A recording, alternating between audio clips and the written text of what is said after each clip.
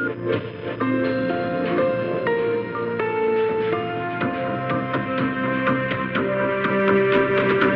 the Moscow headquarters, Radio VR, the voice of Russia.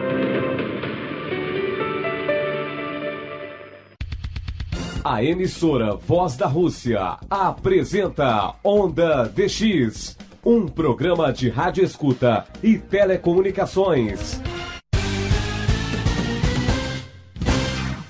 Olá, você sintonizado com a gente nas ondas da Voz da Rússia. Iniciamos mais uma edição do programa Onda DX, o programa que é o marco de referência para os DXistas de toda a comunidade de língua portuguesa. Edição e locução deste amigo de vocês, Jonas Bernardino, direto dos estúdios da Voz da Rússia em Moscou. Programa Onda DX, seu guia pelo mundo das ondas curtas. Aqui você recebe dicas e informações de tudo que está relacionado com o mundo do rádio. No programa Onda DX, atendemos a sua carta, registramos o seu informe QSL e ficamos por dentro de tudo o que acontece no mundo do rádio através dos nossos convidados especiais. O programa Onda DX é feito por você e para você. Por isso, envie ainda hoje seu áudio, sua história, o seu pedido e suas sugestões. Afinal, todos nós estamos curtindo a Onda DX da Voz da Rússia. Participação especial no programa Onda DX. Seja bem-vindo. E temos participação especial nesta edição, é o nosso amigo jornalista Célio Romais, que, em nome do Clube DX do Brasil, traz as últimas informações do mundo do rádio. Célio, seja bem-vindo ao programa Onda DX. Um abraço aos radioescutas e DXistas sintonizados em mais uma edição do tradicional programa Onda DX aqui da Voz da Rússia. Eu sou o Célio Romais e falo de Porto Alegre, no Rio Grande do Sul. Em nome do DX Clube do Brasil, apresento algumas informações atuais do mundo do rádio ondas curtas. Fiquem ligados. Lembramos que citamos sempre a hora universal. No Brasil, a diferença é de 3 horas a menos em relação à referida hora, ou seja, quando são 21 horas, na hora oficial de Brasília, são 0 hora na hora universal. Morreu no dia 20 de abril em Londres o jornalista Jader de Oliveira. Por mais de três décadas, ele foi uma voz marcante nas transmissões em português da BBC de Londres via ondas curtas. Nos últimos anos, Jader foi correspondente na Inglaterra do canal de televisão Globo News. A Rádio Nacional de Brasília inaugurou um novo transmissor para sua frequência de 980 kHz em ondas médias. A potência do sinal da emissora agora é de 50 kW durante o dia, de acordo com informações do jornalista daquela emissora, Lúcio Rezer. As transmissões em português da Rádio Japão vão ao ar entre 9h30 e 10 no tempo universal em 6.145 kHz. Outra emissão vai ao ar entre 21h30 e 22 no tempo universal em 11.880 kHz. Ambas são via retransmissor localizado em Bonaire, nas Antilhas Holandesas. E a Voz da Coreia, antiga rádio Pyongyang da República Popular da Coreia do Norte, também acaba de ingressar no mundo da internet. De acordo com Antônio Argolo de Jequié, na Bahia, o site da emissora é o seguinte: www.vok.rap.kp, repetindo, www.vok.rap.kp. Lembramos que a Voz da Coreia pode ser captada em ondas curtas transmitindo em espanhol. A Rádio Bulgária faz uma transmissão em espanhol para a América do Sul entre 23 e 24 no tempo universal em duas frequências, 7400 e 9400 kHz, de acordo com monitoria de Glauber Pérez, em Pindamonhangaba, estado de São Paulo. A emissora possui regular sintonia em 7400 kHz. E agora a última informação deste segmento. A Rádio Deutsche Welle reduziu os blocos dos programas em espanhol de duas para uma hora. Em carta enviada aos monitores, informa que as emissões via ondas curtas ainda serão utilizadas a médio prazo, depois só pela internet ou pelas rádios parceiras. A emissora tem priorizado as transmissões principalmente no continente africano. Há, por exemplo, uma transmissão em português para a África, que vai ao ar entre 19h30 e 19h57 no tempo universal, que possui regular sintonia aqui no Brasil na frequência de 17.610 kHz. Bom, amigos, por hoje era isso. De Porto Alegre falou Célio Romais. Boas escutas a todos.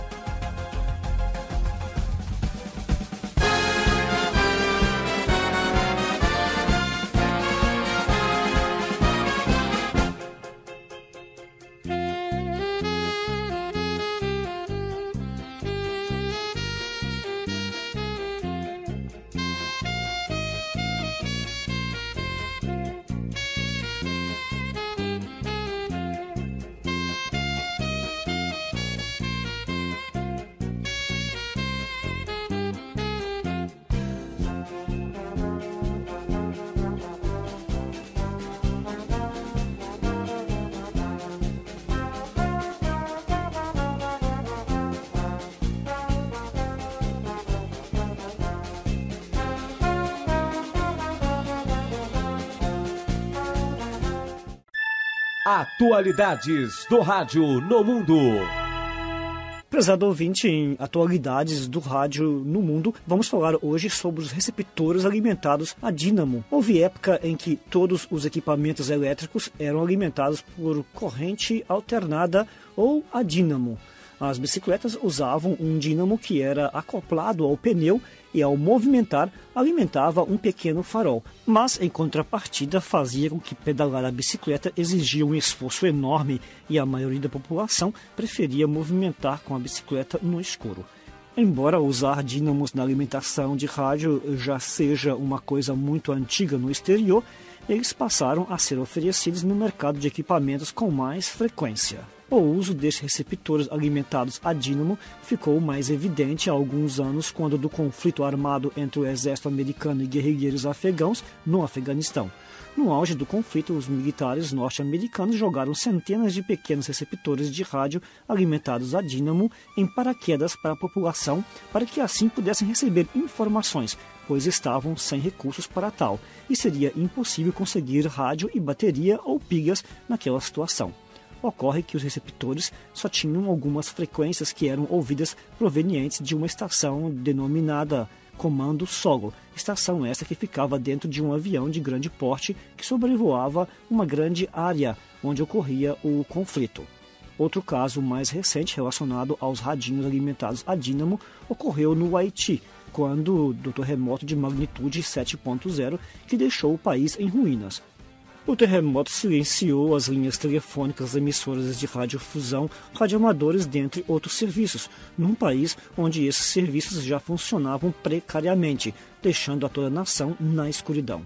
Apesar de sempre encontrarmos os arautos da morte do rádio, verificamos que nesses casos de calamidade pública, a falta de um receptor de rádio constitui quase que uma questão de vida e morte. Nenhum instrumento moderno supera o rádio nessa situação e novamente nos Estados Unidos, através da sua marinha, distribuíram pequenos receptores de rádio alimentados a dínamos a grande parte dos haitianos, para que eles se orientassem com as informações dadas às emissoras que transmitia na região. Também, desta vez, no mesmo estilo e modelo usado no Afeganistão, pelo Comando Solo, instalado em um avião C-130 da Força Aérea dos Estados Unidos, originário da base aérea em Homestead, Flórida. Outro fator importante a favor do rádio em toda e qualquer situação é que, ao contrário do jornal escrito, ele atinge com 100% de informação aos analfabetos que absorvem toda a informação sem nenhuma dificuldade. Assim, o rádio sempre foi um veículo de massa, ao contrário dos outros meios de comunicação, como a internet e jornais, onde o usuário tem que ser alfabetizado. A TV, nesses casos, como do Haiti, se torna totalmente inútil, pois seria impossível colocar TVs nas mãos de tantos flagelados. Este foi o artigo do nosso amigo Wilson Rodrigues, matutando.